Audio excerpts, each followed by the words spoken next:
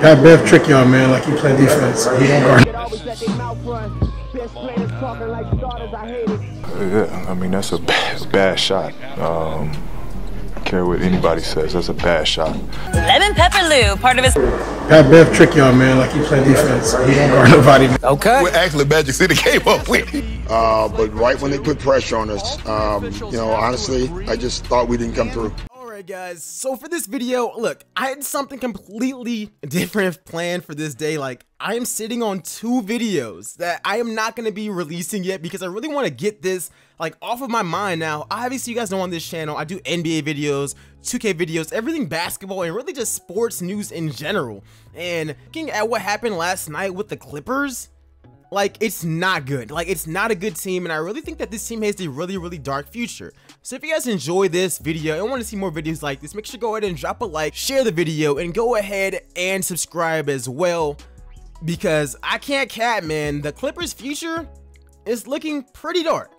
So pretty much i'm going to be breaking this thing down in the past the present and the future. And this won't even be all that long of a video. It's really just a brief synopsis of every single stage of this Clipper team and why the future of this team is just not looking all that good. So first off, let's start off with the past of the Clippers franchise because, I mean, for the most part, they've been a laughing stock of a franchise. I mean, they've really been the Lakers' little brother and not in a good way. Like, this team has been in the Staples Center. They've been looking crazy for like decades and decades and decades. They have blown multiple 3-1 leads Doc Rivers, 2015 against the Houston Rockets. And I really got to start to say, man, this is a, like, if anyone other than Denver won last night, it's James Harden and the Rockets because this really just shows how hard it is to actually make the Western Conference Finals. And Harden did it twice. But looking at the Clippers, like, I said it last night, these dudes need to get out of Los Angeles or something because I feel like this team is really, really cursed. But like I said, laughing stock franchise. They also had Donald Sterling as well. This franchise as a whole has taken L's and L's and L's. Blake Griffin injured, Chris Paul injured every single big game. All of their franchise stars injured. Drafting players like Michael Olowokandi, a bunch of busts in this team's history. And you know, a few seasons ago, they actually started to become a really decent team after that Chris Paul trade because, I mean, they added depth. They pretty much traded Chris Paul and a signing trade, and they got back Pat Bev, Lou Will, and Trez. Three players who actually became really integral to this team's development as a whole and really helped this team out. And, you know, last season, they drafted Shai. Like, that was a massive W as well before that draft, I pretty much said that Shai was really underrated and that he was the steal of the draft. And, you know, they brought in Jerry West. They drafted Shai and Jerome Robinson, which wasn't out because they honestly could have had Shai and Michael Porter Jr., which I thought they were going to do that. But this team was actually looking really, really decent. And it really started to look like all they needed was that true superstar level player to take them to the next height because they had cap room. They had a deep, deep, deep roster and they had Doc Rivers. So to finish up the past, yo, Doc Rivers is, is, the only coach in NBA history to blow multiple 3-1 leads. At this time in the past, he's only done it twice. So moving on to the present, yeah, this team just blew another 3-1 lead last night to a young team with very little playoff experience. I mean, you look at this roster with Jokic, with Jamal Murray literally came into his own during this bubble. Porter was coming off of the bench. They got like this is a really really young team, and they came out there and, and they smacked y'all. Like like this Clipper team, I thought they were gonna wrap it up on Sunday, bro. Like Sunday, first of all, we're watching football. We, we, like we're not watching basketball because we expect the Clippers to blow these guys out. And the Clippers were at one point, I think that they were up like 15 plus points. Come back a few minutes later on on commercial break, the Clippers are down by 10. Huh? Like that is really embarrassing. Like they should have wrapped this series up a long time ago. And to go up 3-1, there was just no excuses. And to literally hear these guys say that this year wasn't a championship year by by Paul George to me is ridiculous because you guys went out of your way to sign every single free agent y'all could have. Reggie Jackson, Morris, You guys got Joakim Noah, even try to get Darren Collison as well when you guys didn't need him. Talking all that mess. PG, Bev, Trez, Morris being dirty as hell against Dallas. To lose to this team is a massive L. And then I hear Doc Rivers say that it's fatigue when there's no travel and the Nuggets just came back from 2-3-1 leads is insane to me. And Kawhi scoring two points in the second half and him and PG combining for zero in the fourth quarter, I'm gonna keep it a band with y'all. This team should have lost to Dallas.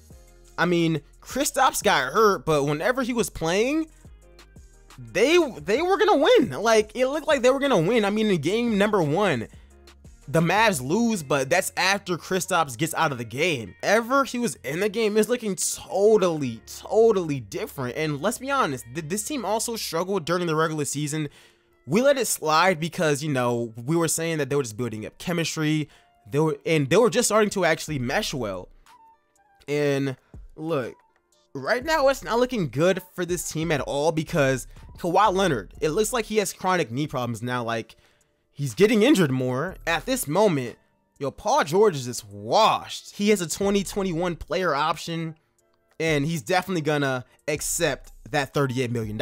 And Kawhi's probably gonna stay too because this is a team that he always wanted to actually be on, and he's getting $36 million with his player option in 2021 as well. Let's talk about the future of this team because, like I just said, PG is washed. Both of them have player options and both of them are just injury prone in general. I don't want to be harsh here, but I really feel like the Clippers are going to be fading back into irrelevancy. And I know that Clippers fans are going to be really mad about me saying that, but this team really has nothing going for it because, I mean, you can't trade Paul George. His, his trade value is at the worst it's ever been. And no one is taking his his contract with a player option after next year for $38 million. I gotta be honest, man. This is the first time Kawhi has really had any pressure. I mean, I made a video a few months ago saying how Kawhi was the most intriguing player, and that video got backlash because I kind of said that Kawhi was a little lucky. And I know that that still sounds crazy because, yeah, it's just one series, but for most of Kawhi's career, like, people were getting ready to, to say that if he won this year's ring, don't think that I forgot. Some y'all said that he was gonna be up there with Kobe Bryant. Some y'all said that he'd be better than than Kevin Durant and Stephen Curry all time. And to me, that, that's a little ridiculous for a guy with only four All-Star appearances. To me, that is actually insane. And for most of his career, he had no pressure at all. Like, let's be honest, the, the Spurs, he didn't lead that team to that championship. He didn't. Toronto, Toronto was already a good team before him, and let's be honest, they weren't expected to do anything. Like they like they were not expected to actually win that title. He had that really lucky shot against Philly, and Kyle Lowry, who we all know is is a really good closer as well. Like this is the first time Kawhi actually had the pressure of actually being that closer on the best team and that best player, and he folded. He folded. Let's think about this, man. Steve Ballmer just bought the Forum for $400 million from James Dolan. The Clippers are really down bad right now. Like, they are down bad to, like, I've never seen this before. I mean, let's think about who they gave up. They gave up Shai. I think that he's good enough to be a really good number two on a championship level team. Giving him up, he's 22. I would take him over Paul George right now. They also gave up Danilo Gallinari, and they pretty much control the Clippers' next seven years, including five draft picks and I think about two swaps. Yeah, the Clippers are toast. And the best thing for me to actually do is look, looking at trades, we got to look back at the time if we want to call this a bad trade. And during this time, last summer, it was kind of a bad trade then as well. I mean, yeah, Paul George did finish top three in MVP voting. However, he just folded against the Blazers and he was coming off of another injury for his shoulder. Like he just had multiple seasons of getting injured and he just had another shoulder injury where Buddy literally said that he could barely raise his arm. That is a massive concern. But I get it.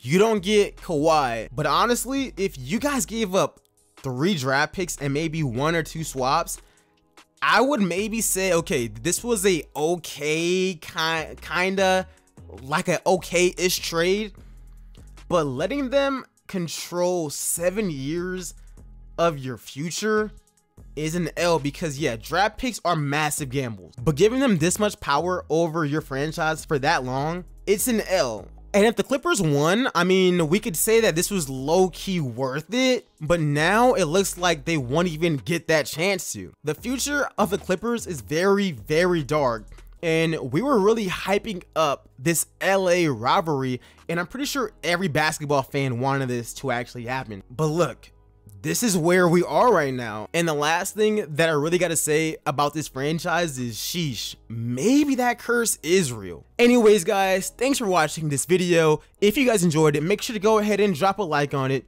Go ahead, subscribe, and comment W if you made it throughout the entire video so I know who the real ones are. And if you guys actually want me to talk about the bright future of the Thunder, let me know in the comment section below. But other than that, I'm gonna keep on grinding, man, especially the next few days. The next episode of the Wolf series is already done. I also have another rebuild done as well to actually drop those, but look. But other than that, guys, I'll see you guys in the next video. I'm out. Peace, y'all.